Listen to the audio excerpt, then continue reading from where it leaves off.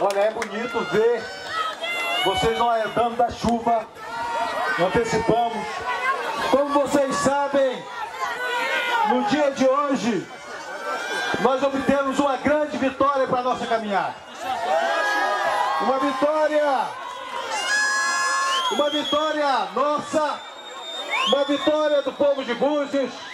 Mas eu quero aproveitar o momento e agradecer a Deus, porque Deus está conosco.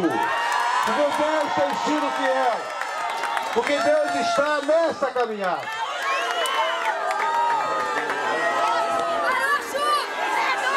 Falam muito. Parar!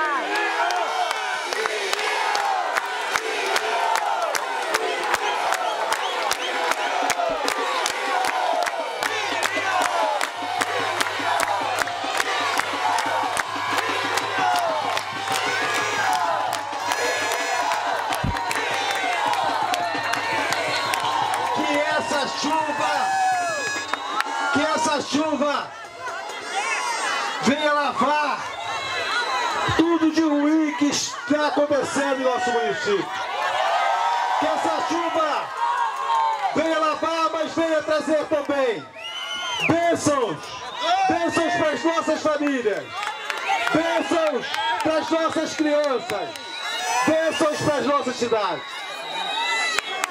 Eu, assim que acabou a votação do TRE, o jornalista me ligava e perguntava qual era a minha sensação. Eu dizia para eles que era a sensação, a, a sensação de que lhe foi feito justiça. Mas acima de tudo foi feita a justiça de Deus. Acima de tudo a justiça de Deus. E eu quero dizer aqueles, aquelas pessoas que nos caluniaram, que mentiram, aquelas pessoas que usaram de mentiras e estão usando de mentiras para fazer campanha.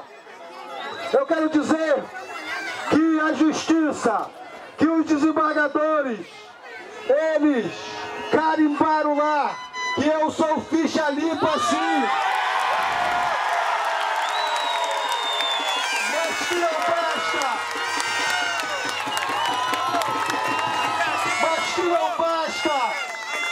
Basta ser ficha limpa! Tem que ter as mãos limpas acima de tudo! Tem que ter uma vida limpa acima de tudo! Por quê? Que nós temos uma vida limpa! Nós temos as mãos limpas! E nós queremos, nós vamos fazer esse município voltar a ser um dos melhores municípios desse país. Trabalho, com emprego, com educação de qualidade, com turismo de qualidade, com saúde para as nossas famílias.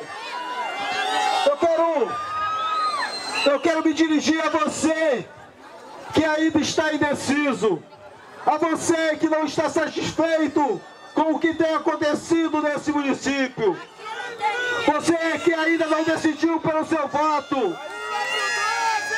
nós, a nossa candidatura é a única capaz de derrotar isso que está aí. Faça um voto útil, vote, pra, vote no Mirinho, mas vote também para derrotar esses que, esses que estão destruindo o nosso município, destruindo a nossa cidade.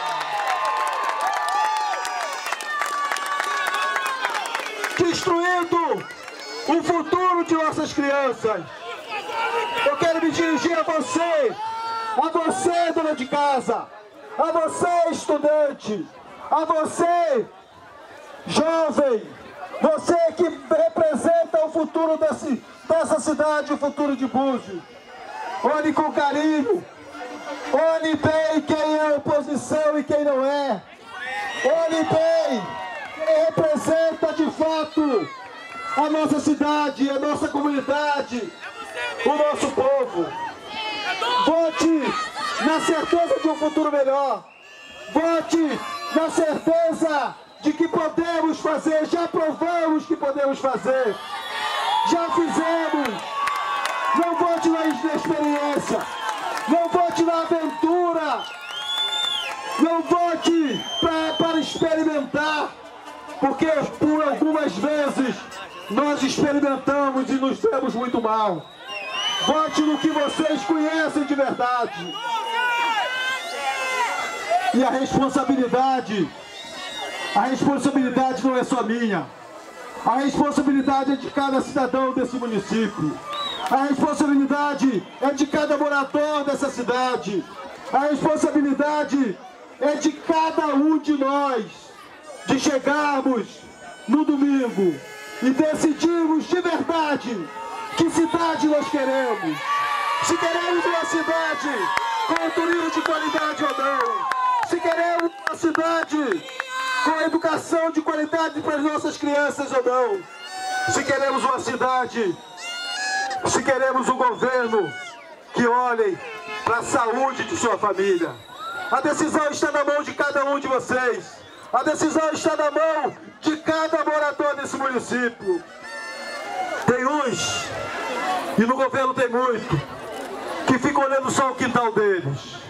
Que olham, se o quintal estiver bom, está tudo bem. Eu não quero que se olhe só o quintal. Nós não podemos olhar só o nosso quintal. Nós temos que olhar para o vizinho. Nós temos que olhar para a nossa rua. Nós temos que olhar para os nossos bairros. Nós temos que olhar para a nossa cidade, buscando o melhor para o nosso povo.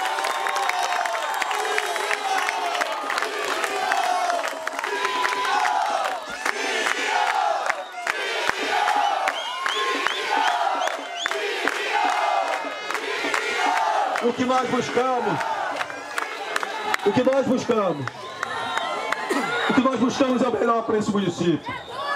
O que nós buscamos é trabalhar por essa cidade, por essa gente, por nossa gente. O que nós buscamos é uma qualidade de vida. O que nós buscamos é que a população não sofra por falta de emprego. Que a mulher não sofra por falta de uma saúde decente. O que nós buscamos é uma cidade melhor. Porque essa cidade está aqui dentro do coração. Essa cidade está no coração de cada um de vocês, está dentro de cada um de vocês. Não importa se nasceram ou não aqui.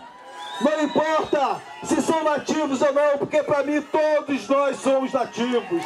Todos nós amamos esse município. E nós temos que defendê-lo. Nós temos que buscar mecanismo para defendê-lo.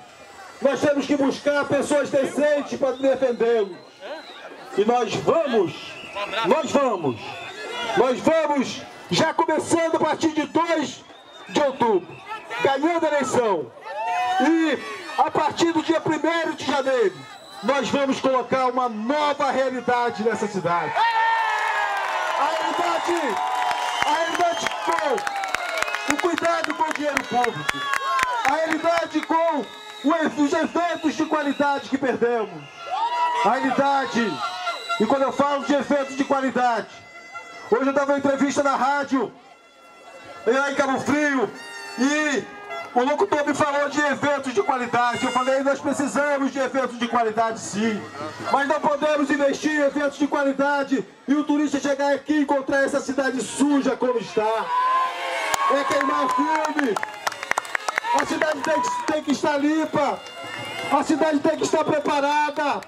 A cidade tem que estar preparada para o nosso povo, preparada para o nosso turista, mas muito mais preparada para nossa gente que precisa ser bem tratada. Eu quero, mais uma vez, fazer aquele apelo a vocês. Nós estamos na frente das pesquisas. Não, não se iludam com pesquisas falsas. Eles estão divulgando pesquisas falsas. Estamos na frente. Mas é preciso, é necessário que nós possamos ter o voto, cada vez mais o voto seu, o voto do seu vizinho, o voto, o voto do seu parente, o voto do seu amigo, para que possamos de vez derrotar o caos que está administrando a nossa cidade. Vivemos dias ruins. Vivemos dias ruins.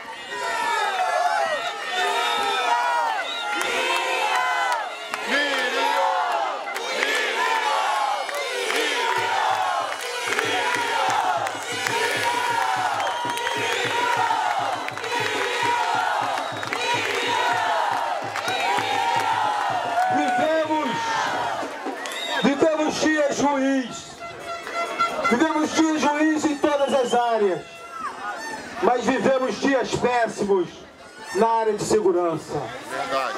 As nossas famílias não estão tendo sossego. Os nossos comerciantes estão preocupados. A cidade está insegura.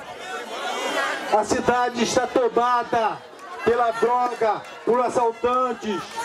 A cidade está tomada por assaltos. E é tão fácil. A cidade nunca viveu isso. A cidade, nós nunca vivemos isso. Nós nunca vivemos um caos desse na área de segurança. E eu vou repetir aqui, o prefeito anda muito seguro. O prefeito tem 10, 12, 15 PMs à sua disposição. Tá faltando PM! Tá faltando PM na raça! Tá faltando PM sem praças! Tá faltando PM em Gonçalves e Manguinhos! Na Rua das Pedras! Mas o prefeito tem. O prefeito tem segurança. Ele anda seguro. Aliás, agora tem até uma, uma, um carro da polícia seguindo. Fazendo segurança dia e noite. Será que ele está com medo de alguma coisa? Será que ele teme alguma coisa? Mas enquanto isso, o povo está inseguro. Enquanto isso, o povo está sentindo a insegurança. A insegurança, e aí vocês vão dizer assim, não, mas a insegurança é lá na raça, não é não. É na Praça Santos Dumont também, é em Sem Braças também, é na Hora Barbão também, é ali no Parque das Acácias onde eu moro também. Em todos os lugares. Nós vamos. Anote aí, nós vamos. Nós vamos instalar um monitoramento geral da cidade. Começando na divisa. Para filmar todas as placas de carro que entrem na cidade e saiam. E colocando em todos os bairros, em todas as áreas dos bairros. Nós vamos ter um relacionamento como sempre tivemos. Relacionamento comum de prefeito, cidadão, com os comandantes da PM, com a guarda municipal, com a delegacia. O prefeito não tem esse relacionamento.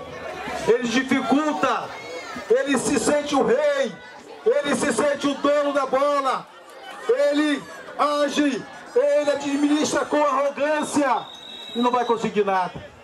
Eu tenho certeza. Por quantas vezes eu chegava lá no batalhão e dizia, comandante, preciso de mais 30 homens em Búzios.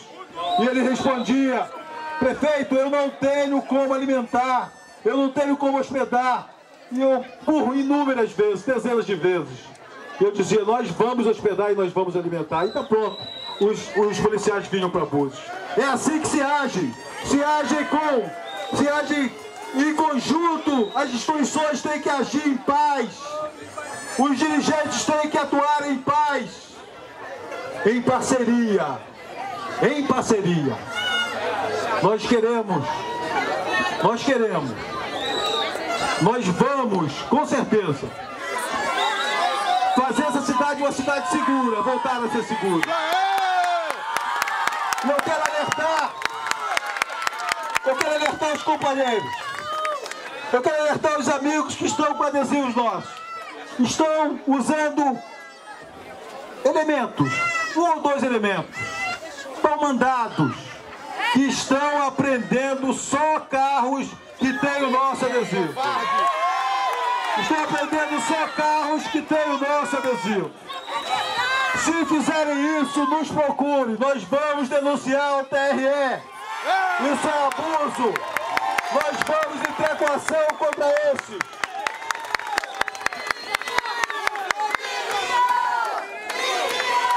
Eu já falei. Eu já falei muito.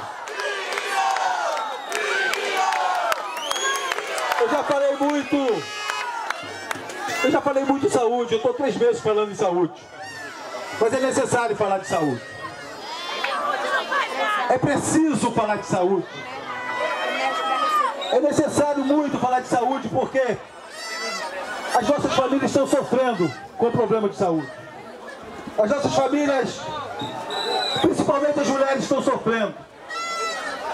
O hospital virou um lugar de óbitos. O hospital virou um lugar um lugar que não atende mais a população, não atende mais decentemente a família buziana.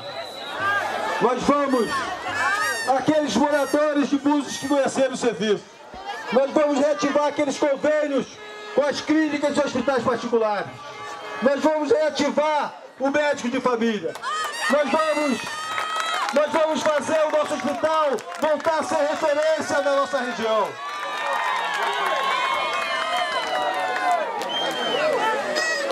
instalaram uma tal de biometria para se fazer exame. Descobriram essa biometria.